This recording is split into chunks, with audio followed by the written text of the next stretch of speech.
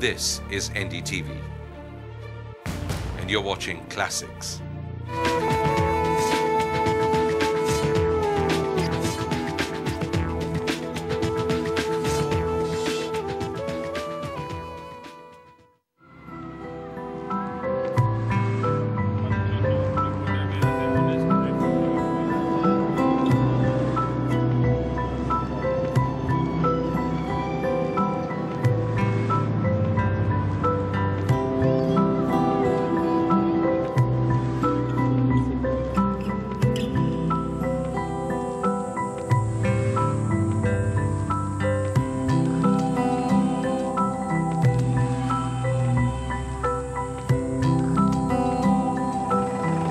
नमस्कार, मैं रविश कुमार।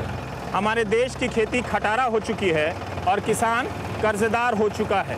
सरकार कंफ्यूज है, जैविक खेती को बढ़ावा देती है और यूरिया को सब्सिडी देती है। कृषि मंत्री से बड़ा कोई कृषि विशेषज्ञ नहीं और किसान से महान तो कोई दूसरा है ही नहीं। फिर भी खेती खस्ता है, लेकिन कुछ लोग खेती में विकल्प ढूंढ रहे हैं, समाज और संसाधन के बीच एक रिश्ता बना रहे हैं, ताकि आपकी खेती उपजाऊ, टिकाऊ और बिकाऊ हो सके।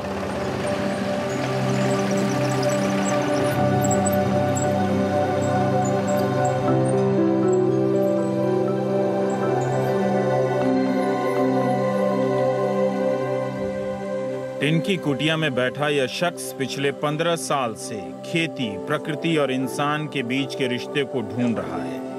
एक मकसद से कि गरीबी की मानसिकता दूर क्यों नहीं होती और हमारा किसान खुश क्यों नहीं है? आखिर फिर ये गरीबी पूरी कहाँ से हो? आप सारी सरकारी योजनाओं को उठाकर देखिए। गरीबी को दूर करते करते हम आज इस छोर पर पहुँचे हैं पहुँचे हैं कि मानसिक गरीबी गाँव में बढ़ रही है। बिलो पावर्टी लाइन के लिए जो लिस्ट बनाई जाती है, उसमें लोग बढ़ चढ़ कर भाग लेते हैं। फिराक में रहते हैं कि मेरा नाम उसमें आ जाए। मैं कह रहा हूँ क्या गया इस दुनिया में? भारत भूषण त्यागी के हिसाब के अनुसार आपको भी हैरानी होगी कि एक गाँव में 500 लोग गुटखा, बीड़ी और मोबाइल पर एक करोड़ रुपया साल में उड़ा देते हैं और 2000 की मजदूरी के लिए दिल्ली, मुंबई भागने लगते हैं।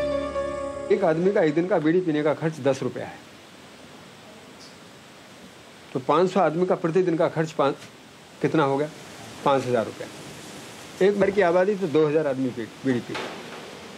तो हम एक मिनिमम आइडेंटिटी पर भी यदि काम करते हैं तो पता लगता है कि पंद्रह बीस लाख रुपए का उसके सर्वे मैंने दुकानदारों के माध्यम से भी। ऐसी ज़रूरत है जो भाई जी गाँव में ज़रूरत नहीं है। सामान्य कीमत से जो अधिक देने की त्यागी ने इसे समझाने के लिए अपनी ज़मीन को पाठशाला में बदल दिया, पूरा जीवन लगा दिया। बताने में कि शहरों में पलायन से अच्छा है कि नौजवान किसान को पेशे के रूप में अपनाएँ।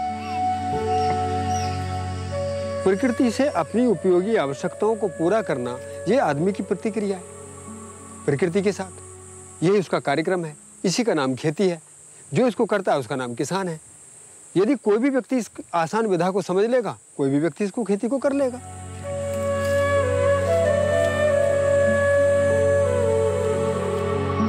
और कमाई का भरोसा हो, इसके लिए एक साधारण सा हिसाब लगाया कि रासायनिक खेती में एक बीघा में लागत आठ सौ रुपए है। जैविक खेती में एक बीघा में लागत ढाई सौ रुपए है। उत्पादन कम हुआ तब भी जैविक खेती में फ़ायदा है।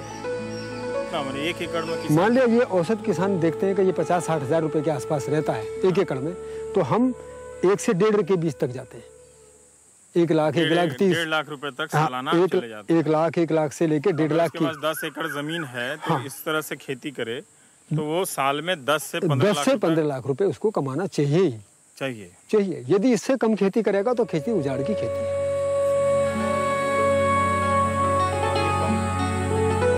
लेकिन बड़ी चुनौती ये है कि जैविक खेती के ज़रिए उत्पादों को महँगा किया जा रहा है। त्यागी चाहते हैं कि दाम ज़रूरत से ज़्यादा ना लिए जाएँ ताकि इसे आम लोगों तक पहुँचाया जा सके।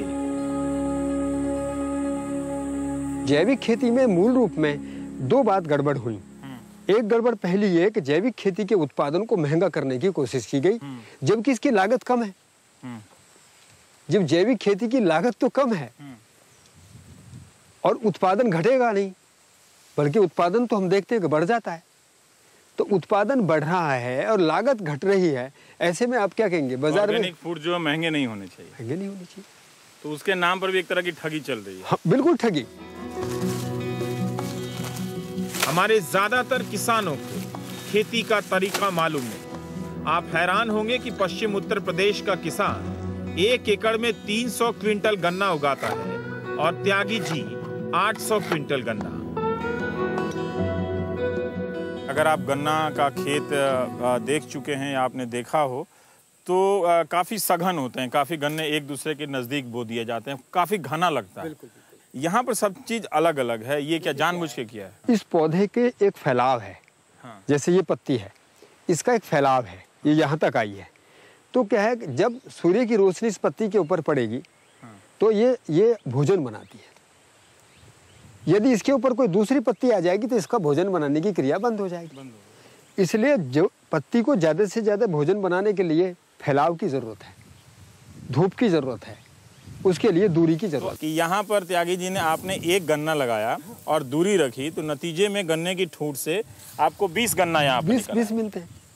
और जो किसान अभी जो प्रचलन है वो एक ही जगह पर 20 ठूट लगा देते हैं। वो जगह जगह लगाए जगह जगह लगाते हैं। यहाँ इस- यहाँ- हाँ। भी लगाते हैं फिर यहाँ भी लगाएँगे नतीजा यहाँ ये होता है कि 20 ठूट लगाते हैं और गन्ना होता है पाँच। ये नुकसान। ये नुकसान।